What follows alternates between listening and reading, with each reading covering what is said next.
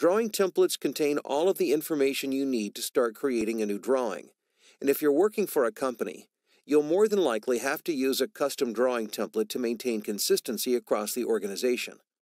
For instance, to set the default units, drafting settings, line type, layouts, viewports, and scales to name a few.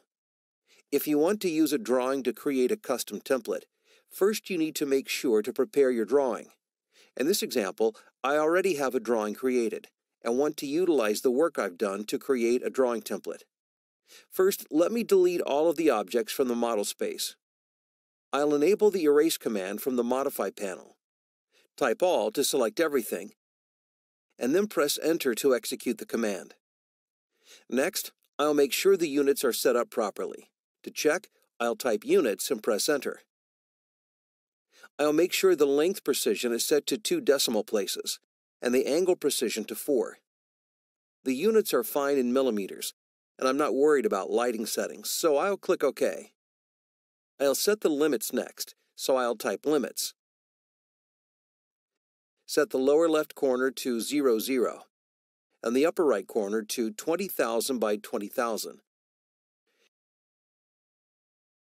Then zoom extents by double-clicking the mouse wheel. Next, I'll go to the Layers panel and make sure that none of the layers are turned off, frozen, or locked. The Viewports layer is set to Not Plot, and set the Active layer to Walls. As a final step, I'll switch through each Layout tab and make sure that none of the viewports are locked and are empty.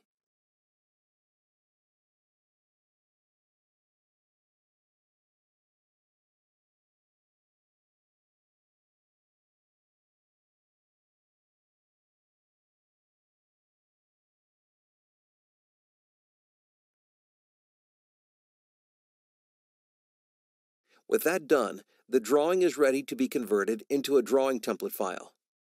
When I create a drawing using this template, I want it to open to the first Layout tab, so I'll switch to that tab.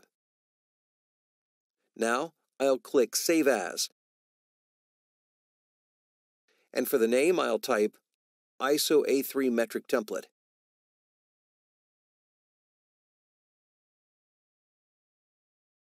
When I switch the file type to a DWT file, notice the file location automatically switches to the default template folder. I'll click Save, and the Template Options box appears. I'll give the template the same description as the name of ISO A3 metric template. Make sure the measurement is set to metric. Leave the new layer notification setting at the default and click OK to save it. The name across the top now updates with the template name, and I can now load this template when creating any drawing.